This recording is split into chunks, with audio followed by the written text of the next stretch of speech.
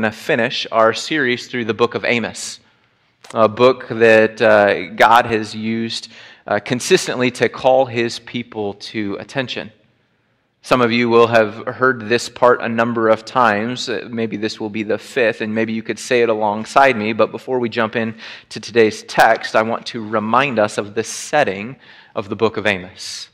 Amos is written in about 750 BC, written 200 years after the kingdom of Israel has split into the kingdom of the north and the south, referenced as, Israel and Judah. At this time in their history, they're in a unique moment where they're actually experiencing peace. They're not really fighting any major battles from the nations that surround them, and they're not currently fighting a civil war between their two kingdoms. And in that time of relative peace, they've been able to do some things that are unprecedented. They've been able to work their land and their cattle in ways with a pure focus without having to fight wars, that they've been able to gain excess. They're producing more than they need. And, and for the first time, they've been able to take that excess and start to sell it to other countries and other places. And it's created rich people for the first time in Israel's history, there's people who have a lot of stuff and didn't get it by being royalty. They've got it through their work ethic, their trades, and their services, and their luxury. Luxuries become their definition of blessing.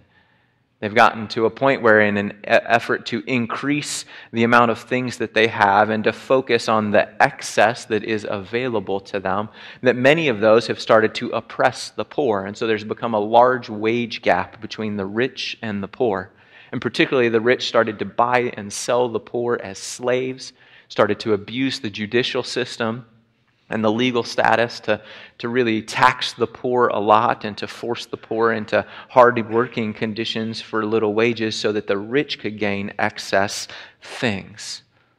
In the midst of this time of luxury, in the midst of this time of peace, They've been able to solidify their fortresses and grow their military to a place of confidence where they don't think they can be attacked by other nations and have it be a problem, and they're confident they could attack anybody else and win a war. And so they find great comfort in their ability to defend themselves.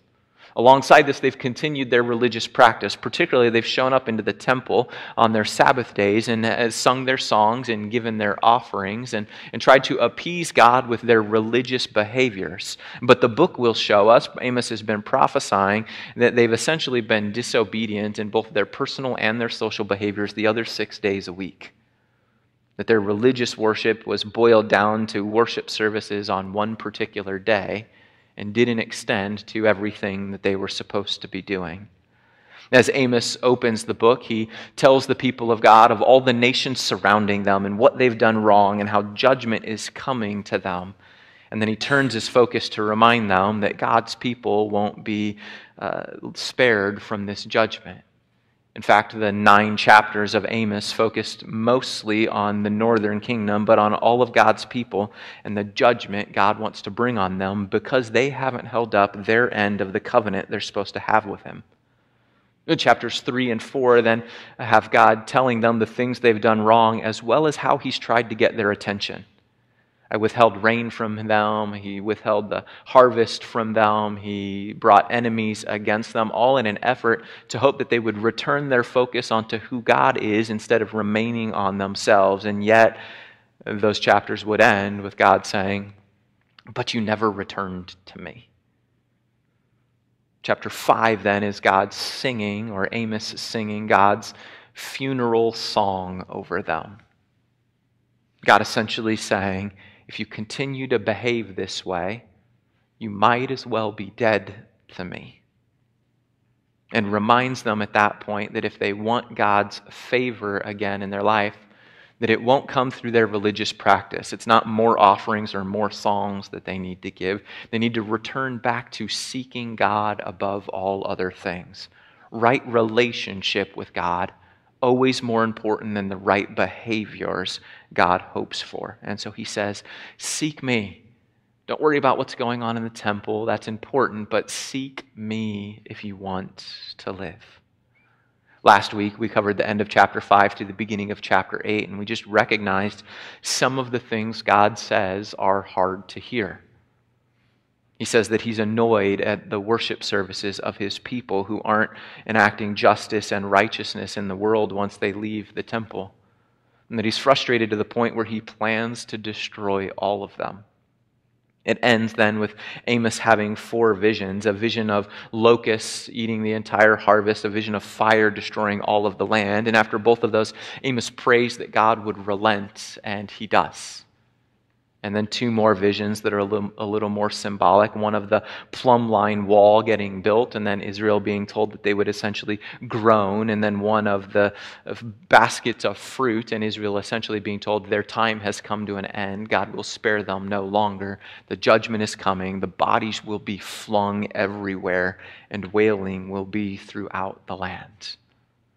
Today we'll pick up with god getting a little more specific again of the examples of what his people have done to make him frustrated, of the judgment that's coming because of that. And then finally, at the end of the book, the last five verses, Amos will finally give some hope, a picture of restoration that comes from God. Amos chapter 8, starting in verse 4, says this. Hear this, you who trample the needy and do away with the poor of the land, saying, When will the new moon be over, that we may sell grain, and the Sabbath be ended, that we may market wheat, skimping on the measure, boosting the price, and cheating with dishonest scales? God's again uh, uh, honing in on those people who have gained excess, those people who have luxury and comfort, those people who have been able to produce a lot for themselves at the expense of the poor, trampling them and doing away with them. And he describes what their attitudes are like. It's like when you get to the new moon holiday, that's one of the Jewish festivals, or when you get to a Sabbath day, the day they're supposed to set aside and not do work, you're observing them. At least you're like made them part of your task list. Except the whole time that you're supposed to be worshiping, the whole time you're supposed to set this day aside as holy, all you're thinking to yourself is, can this religious stuff be done so I can go back to making money? Can this religious thing I'm supposed to do for God end? Can the holiday be done? Can the Sabbath get over so I can go back to marketing my wheat? I want to make more money. I want to accumulate more stuff. God's frustrated because his people who are supposed to be seeking him are annoyed by the days they're supposed to be sending with him like they're a task list that makes God happy if we accomplish it. God's reminding his people that's not the way it's supposed to be. Maybe that's a challenge for us as well. Do we show up to services like this assuming that if we sing songs, put something in the offering plate, listen to Nate ramble on for 30 minutes or something like that, that that means God's now happy and we can go back to doing whatever we want? That we somehow appeased the religious thing we're supposed to do and now we get to spend the rest of the time living life the way we would desire? That's what God's saying is people are doing, and yet it's far from what the scriptures ever teach about what even the Sabbath is supposed to look like continually throughout the scriptures and maybe most emphasized by Jesus himself, he starts to remind us these kinds of days weren't created because God needs them. The Sabbath wasn't created for God, it was created for us so that we would have the right rhythm of life so that we would recognize the identity we have comes most sincerely from the day we don't produce anything, the day we set aside as holy, the day that we're focused on our relationship with God, that who we are as it matters most is who God says we are and in relationship to Him. That the other six days, that the days we produce are the less holy days, the Sabbath is there to remind us that our identity doesn't come from our bank accounts, doesn't come from our work, doesn't come from what we do to gain the esteem or the praise of others. It comes from our relationship with God. And yet, many of us have distorted that. We find ourselves saying, God, I'm showing up to the religious things. I'm doing the task you put before me because you demand it. And yet, all we're thinking about is that project we need to do at work what's going to happen when Monday comes, how we prepare to make more money again, to market our wheat in their language. We find our identity maybe more often in the things we're producing than in the God that we're in love with. God's reminding his people if you've turned your relationship with me to a list of behaviors, and it's not about seeking me and loving me and pursuing me and spending time with me, then the religious behaviors are frustrating to me. He goes on then, though, to call essentially his people hypocrites when he gives the way that they sell their wheat and trample on the poor. You skimp on the measure, you boost the price, and you cheat with dishonest scales. You would take the measurement standard uh, for the size of what the bargain was supposed to be, and they would get a slightly smaller version of it. So they're selling just a little bit less of what they're saying to each customer than what they advertise. Or on the second one, they would take the weight that you put for the common price on the scale and they would increase their standard one. Their shekel would now weigh a little bit more. So when they put it on the scale, what they needed from people in return costs just a little bit more. Or maybe they would go one step further and just take their scale and make it completely dishonest. Always putting their some stuff on one side and the other people's stuff on the other side so that it would be an imbalance, that they were always getting the better end of the deal. He's saying this about people who, who are hypocrites because they're keeping the religious day set aside as if God's doing well, as if they're trying to make him happy. And yet, all of the business they partake in is cheating other people. In an effort to gain more for themselves, they're cheating other people. It goes on to say that they're even buying the poor with silver and the needy for a pair of sandals selling even the sweepings with the wheat. They've created the system, even within their own people, enough that they've started to abuse the poor, not just in their dishonest scales, but they've started to buy and sell them as a commodity. And that they've created a desperation within them. That as they're a group of people who can't grow the food themselves, who can't buy the things they need easily, God says that you've gotten to the place where you recognize they don't even need just pure wheat anymore. They don't need the high quality product anymore. They don't need name brand. You can put the sweepings in alongside the wheat, and they'll still pay for it out of their desperation. And the people have started to take advantage of that. People have become commodities We've created desperation within them that we make them and force them to settle for less because they don't have money. And I don't know if you're like me, but there have been moments in my life where I've recognized that pattern of behavior and judgment in my own life. It was made most clear to me when reading a book by Donald Miller called Blue Like Jazz years ago. He told a story in the middle of it of the day that he was in a grocery store and the person in front of him was paying with food stamps. And how he looked as they p- pulled out their food stamps, he immediately started to judge everything else they had placed on the conveyor belt. As if being poor and being rich meant somebody was allowed to be in a place of judgment. That if somebody who had less, we suddenly got to say, well, they shouldn't buy name brand or snack foods or luxury foods. They should only be allowed the bare necessities of life. But because I have more and because I'm paying with my money that I've earned, I'm in a position to judge them. And I've recognized through story he told that there's moments on my life where not only is my identity found in the things that I have instead of the relationship I have with God, that I start to judge other people based on the things that they have or don't have instead of their relationship with God and what He says about them. Who are those with much to start saying, well, they're desperate enough, that they should have to live on less than what I get? Their lack of money means they should deal with a different level of humanity than I deal with when it comes to things like food and shelter. And maybe you're at moments of life like me, and if you're honest, you recognize that you hold judgment over people based on their accumulation or their financial status. Instead of on their character, or on their heart with God, or on their relationship, on the life He says they have, on the worth He says they have. God is frustrated with his people as they cheat others, as they're hypocritical with their own worship services, and as they trample the poor.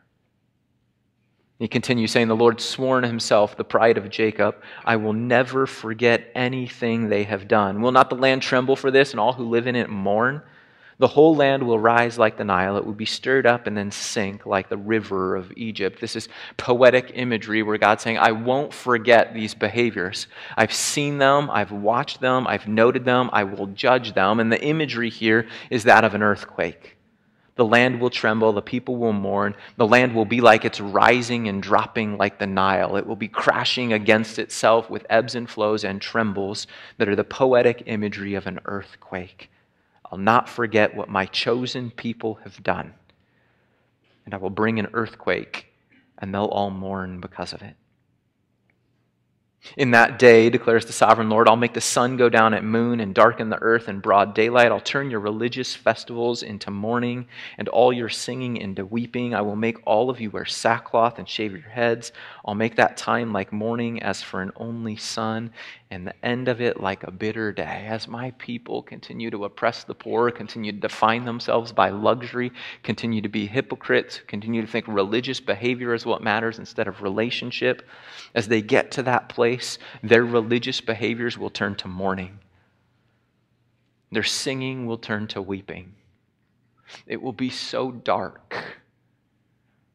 that all of them will be in sackcloth and shave their heads. Those are the symbols of grief in the ancient Near East. Sackcloth would be a garment, highly uncomfortable, very hairy, made to remind yourself you're not in a place of luxury, but in a place of discomfort.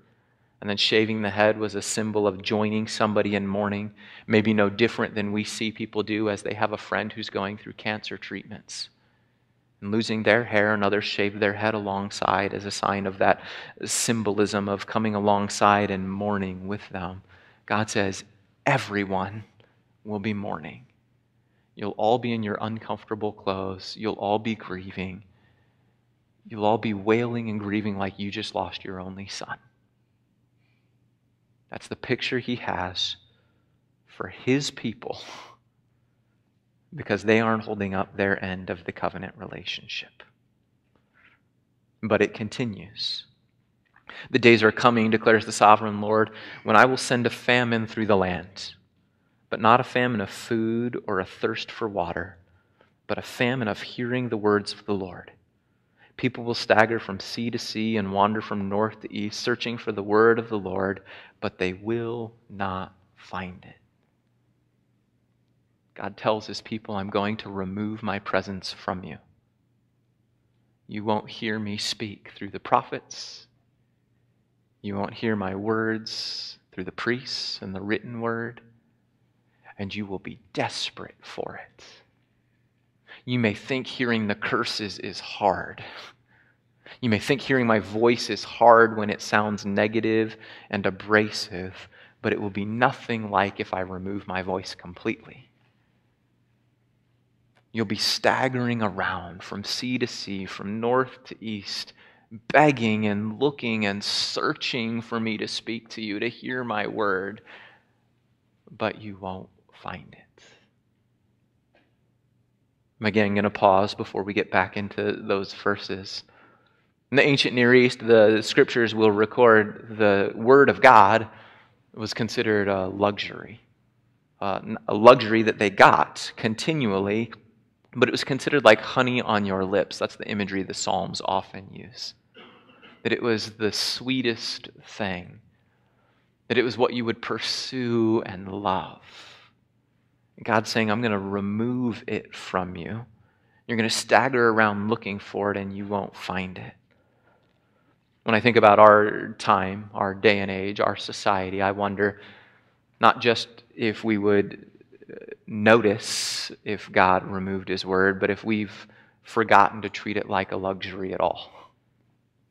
If we consider this book and God speaking to us uniquely like honey on our lips, or if we consider it a resource that sits on a shelf that we run to in times of desperation and need. God's saying, when I'm most frustrated with my people because of their behavior, I may stop speaking to them. I'll give them the silent treatment, and they should notice it and they should long for it. And it would be worse than being without food. It's maybe more substantial than the darkness and the mourning. And yet I'm challenged by wondering would we notice? Would we seek? Would we stagger? Would we wander? Would we search? God says, if we are searching for Him, searching for His voice, and we're not finding it, and we're not hearing it, it may be because He's frustrated with us, because we treated Him like a task list and not like a relationship we're in covenant with. I'd plead with you seek God in His Word. Treat it like honey on your lips, and He will speak to you. You'll find Him.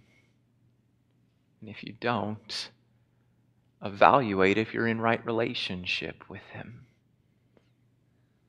We'll talk a little bit later about when God restores. And that it's not based on our behaviors. It's not about being right religiously. It's about being right relationally. And He longs to restore.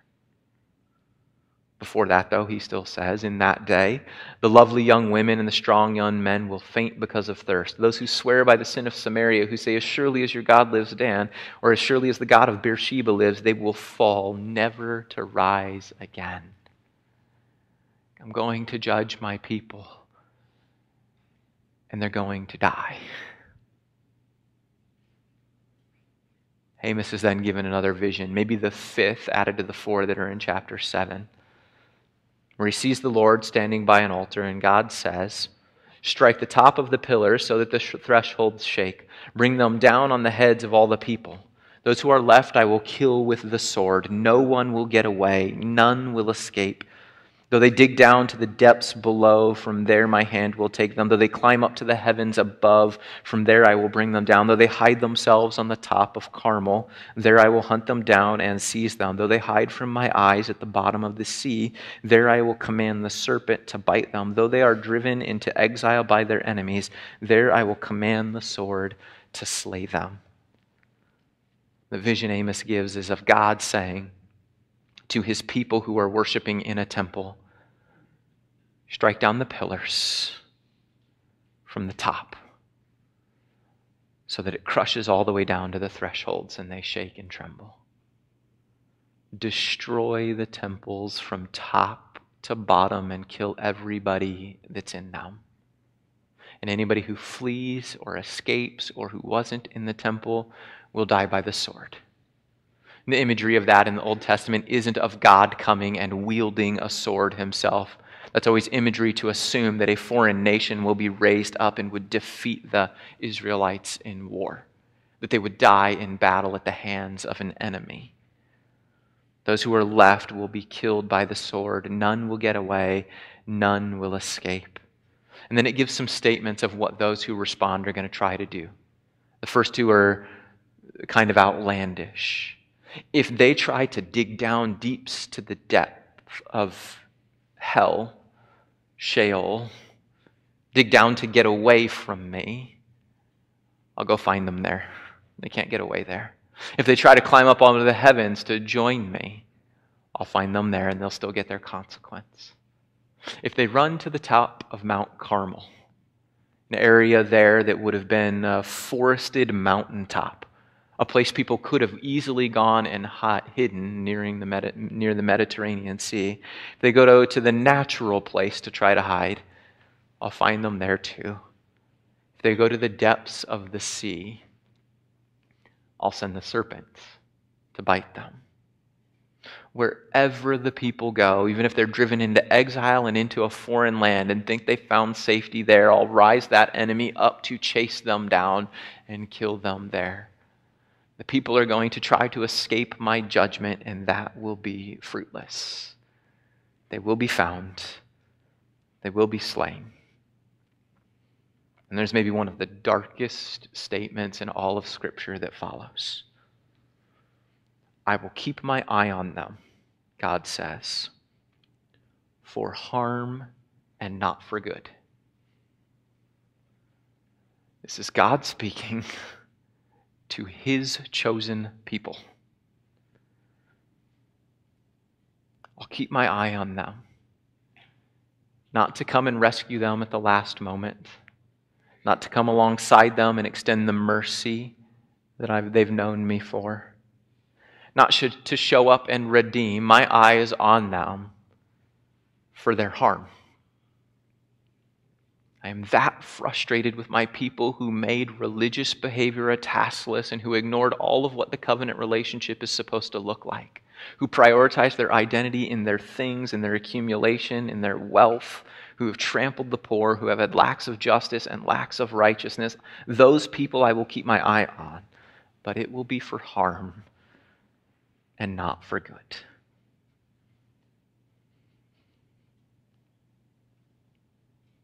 The Lord, the Lord Almighty. He touches the earth and he melts all who live in it mourn. The whole land rises like the Nile and then sinks like the river of Egypt. He builds his lofty place in the heavens and sets its foundations on the earth. He calls for the waters of the sea and pours them out over the face of the land. The Lord is his name. And he's frustrated from his palace on heaven, the foundations on the earth. He can make it tremble, he can flood it. He is frustrated with his people. Are you not Israelites the same to me as the Cushites, declares the Lord? Did I not bring Israel up from Egypt, the Philistines from Caphtor, and the Arameans from Kir? Surely the eyes of the sovereign Lord are on the sinful kingdom. I will destroy it from the face of the earth, yet I will not totally destroy the descendants of Jacob, declares the Lord. For I will give the command and will shake the people of Israel among the nations as grain is shaken in a sieve, and not a pebble will reach the ground. All the sinners among my people will die by the sword. All those who say disaster will not overtake or meet us. God says, I protected you from those other sinful nations. We fought the war against the Philistines. We fought the war against the Arameans, those who you knew were the sinful kingdoms, and I defeated you. Don't you realize you're no different from them? I was always just defeating the sinful kingdoms. And now you're the sinful kingdom. Now you're the one my eye is on. My eyes, the eyes of the sovereign Lord, are on the sinful kingdom. And that's his chosen people. And in their sin, they will die. The first glimmer of hope he gives, though, is that not all of the people will die. That he will lift up his nation and sort them like grain in a sieve. That he will put them there, and as the grain falls through, the pebbles will remain and be held within. And as that separation happens, those who have made their religious behaviors a task list instead of a relationship those who have abused the poor, avoided justice and righteousness, those who have decided their identity is based on their luxury instead of their relationship with God, those who have been sinning and thinking they're doing okay, will all die. Even though they think disaster wouldn't come, they will find themselves in the midst of disaster. And yet, those who have been faithful in relationship and covenant to God, those who have sought Him, not those who are perfect, because none of them are. None of us are. But those who have sought their identity in God and in right relationship with Him, He will spare. In that day, it says, I will restore David's fallen shelter, I'll repair its broken walls and restore its ruins, and will rebuild it as it used to be so that they may possess the remnant of Edom and all the nations that bear my name, declares the Lord, who will do these things. There's a day coming when I will restore what David had built. The fortresses he used to defeat the foreign kingdoms will stand again, and my people when they see restoration, maybe the first way that they will see it is in power over their enemies, like David had. He continues. And the days are coming, declares the Lord, when the reaper will be overtaken by the plowman and the planter by the one treading grapes. New wine will drip from the mountains and flow from the, all the hills. And he gives a picture of a harvest so bountiful that while you're still picking the grapes from the vine, you'll have expanded the whole season, still with more grapes to harvest. To the time where it's ready to be planted again, you haven't even harvested everything you grew the last time. That when God restores his people, they'll have power over their enemies and they'll have agricultural bounty and luxury again. The hope being, though, this time, that they'll use it not to oppress, not to create identity, but they'll use it the way God has always instructed us to, as He blesses His people, that it, we would then bless the world. That's been His plan from the start. And I'll bring my people Israel back from exile. They'll re- rebuild the ruined cities and live in them. They'll plant the vineyards and drink their wine. They will make their gardens and eat their fruits. When restoration comes to God's people, it will come with power over the enemies. It will come with bounty of agriculture and luxury, and it will come with the return and repossession of the lands. And then it comes with a promise. And I will plant Israel in their own land, never again to be uprooted from the land I have given them, says the Lord your God. No different than when he promised after the flood never to flood his people again. He says, after I've had to deal with my chosen people in this way, after I've had to sift them and separate them and destroy some of them, when I restore them, they'll never have to go through that kind of suffering again. And since then, scholars have wondered and argued, and historians have debated has that restoration happened? after the temple was destroyed and the people were exiled from ba- because of Babylon, and then came back with Ezra and Nehemiah, and they rebuilt the temple and they rebuilt the walls. Is that the restoration? God's people are back. Did they have, did they have power over the enemies? Did they have the agriculture bounty? Did they return and repossess all of their land?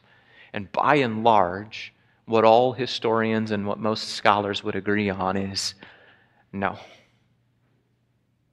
Israel has never been at the place where they've then returned to having power over their enemies, agricultural bounty, return and repossession of their land, to then have the promise hold true that they won't be uprooted again. That it hasn't happened. And that the likely best thing for us to do is then reinterpret it with the new covenant. Not as Israel proper, but with Jesus and God's chosen people those in right relationship with God, who someday will have power over their enemies, agricultural bounty, and return and repossession of all that God has promised us. And that likely won't be fulfilled until Christ returns and reigns with us. For us never to suffer again, never to be uprooted again, to stay in right relationship with God without Him judging us any longer in this way. And the book ends. A simple book. Subtitled the whole time we've been studying it God calls his people to attention. That's us. For nine chapters, what God has said as it opened, what the lion has roared and what the thunder has rumbled, is that God will judge his people. That starting a relationship with Him does not get you out of judgment. We will be judged for our behaviors.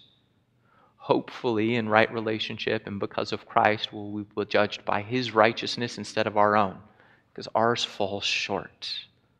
And God will send curses and hard times to His people. And they become, those come because of those people's actions.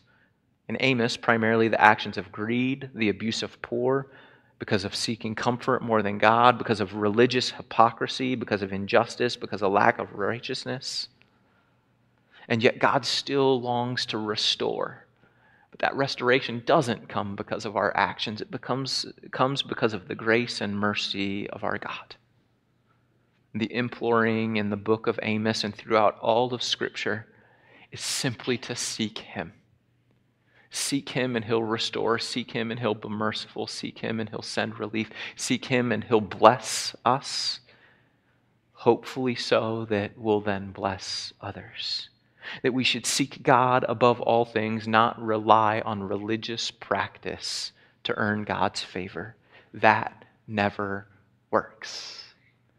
It's right relationship with God in through Christ that God sends his love, that he blesses, and then asks us to bless others.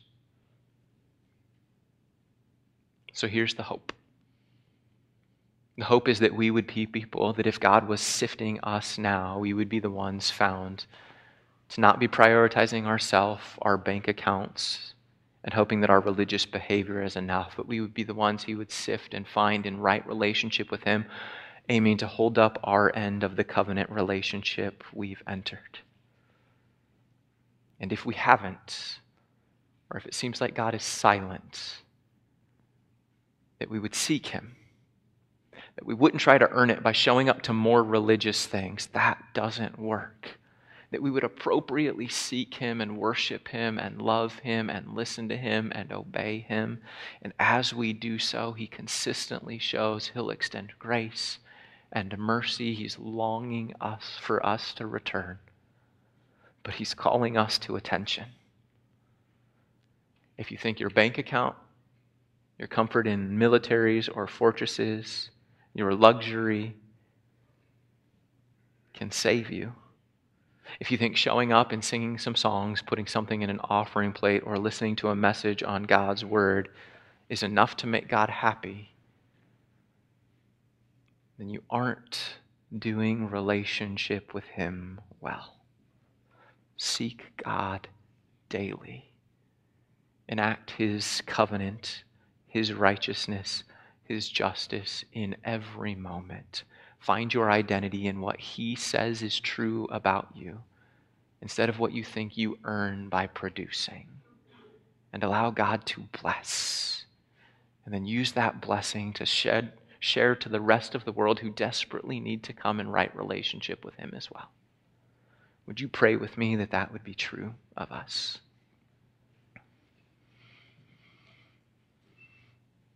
God, I pray that you would say anything hard to us individually you need to. That you would let us know where our behavior has swayed out of the covenant relationship we have with you and into doing life on our own apart from you. That you would continue to send signs in our life calling us to return from you, like you did to your people in the ancient Near East and that we would hear them and return. That we would seek you and live, we would find your word and your voice a luxury, that we would long for that. And we would try to then live our lives in response to that as best as possible. And we long for you to restore, for us to have power over enemies, both physical and spiritual, for us to have bounty and luxury, blessings that you provide, that we then extend to others as well and for us to return and possess everything you've promised us. We know that we need your Spirit at work within us for that to be true. We know that we need Jesus' presence and grace extended to us for that to be true. And so we pray in His name that it would be true and that we'd obey. In Jesus' name we pray. Amen.